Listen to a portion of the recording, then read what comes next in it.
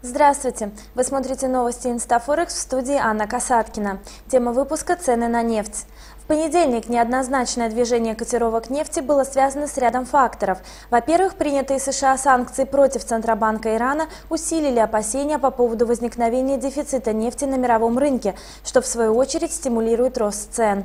В то же время неопределенность перспектив касаемо долгового кризиса в Греции способствует тенденции к падению цен на черное золото. Так, на лондонской межконтинентальной бирже фьючерсных сделок стоимость мартовских поставок смеси Brent по итогам сессии выросла на 74 цента до 115 долларов 32 центов за баррель. На Нью-Йоркской товарной бирже стоимость контрактов на поставки техасской легкой нефти WTI наоборот упала на 65 центов до 97 долларов и 19 центов за баррель.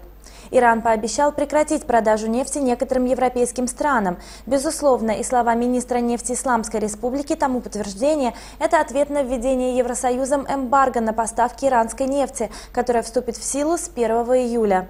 Тегеран также призвал страны ОПЕК не увеличивать производство нефти, чтобы компенсировать Европе потери. Более того, иранский министр также подчеркнул, что Тегеран не пересмотрит своих позиций, в частности в вопросе освоения мирных ядерных технологий, даже если не сможет продавать ни одного барреля нефти.